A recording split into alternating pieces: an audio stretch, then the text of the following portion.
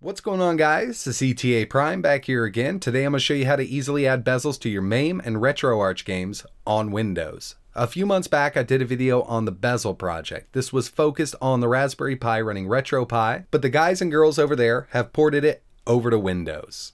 In this video, I'm just going to be focusing on RetroArch. If you guys are really interested in a MAME tutorial, just let me know in the comments below.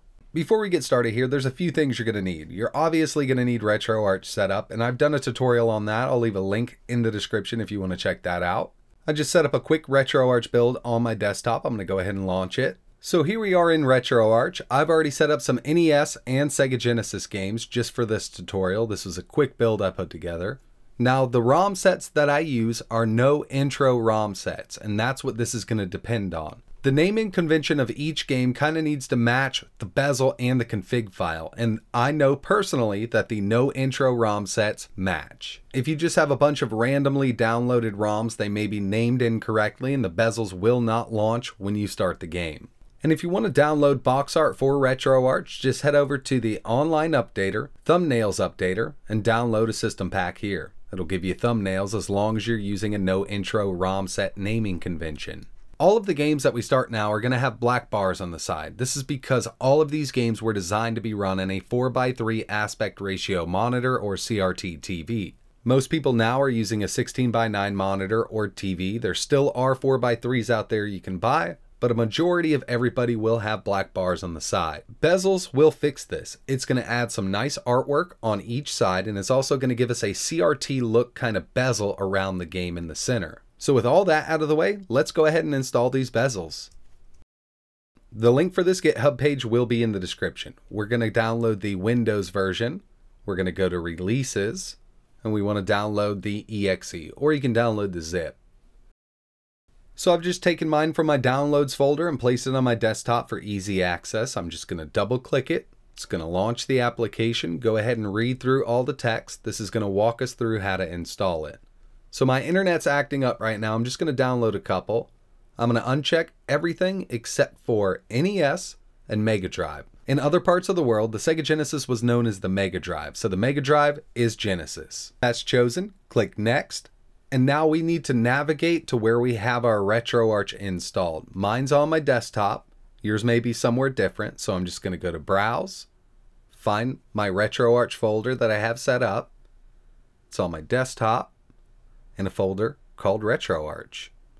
And that's it. We're going to choose this, click OK, and start. This is going to download the bezels, extract them to the RetroArch folder that we just chose, and we'll have bezels installed. Just give it a little time.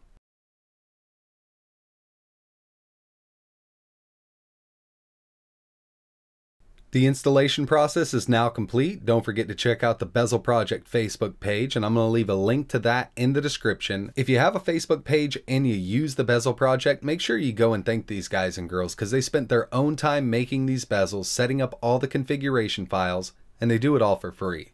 So now all we have to do, click Finish. We're going to start RetroArch up, and our bezels are installed.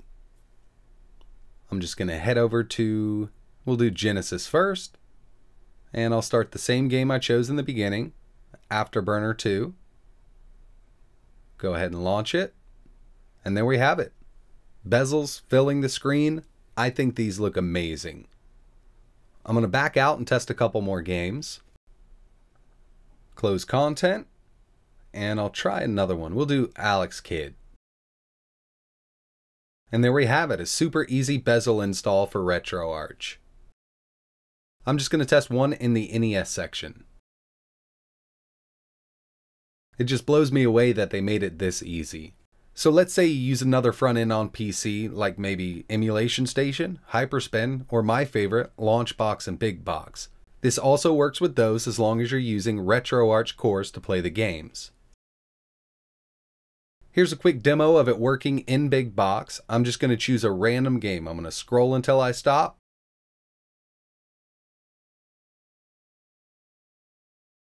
Where it stops, nobody knows.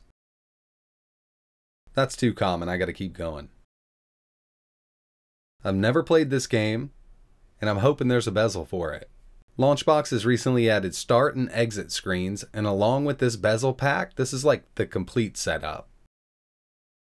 And this was a total random game. There's a bezel for it. So they did say that every NES game, at least every US NES game, has a bezel along with all the other systems that it supports. So that's pretty much it for this video, guys. I really appreciate you watching. Links for the GitHub are in the description along with the Bezel Project Facebook page. If you use it and you like it, definitely head over there and thank the developers. They spent a lot of their own time on this. Really appreciate you watching. If you have any questions, let me know in the comments below. And like always, thanks for watching.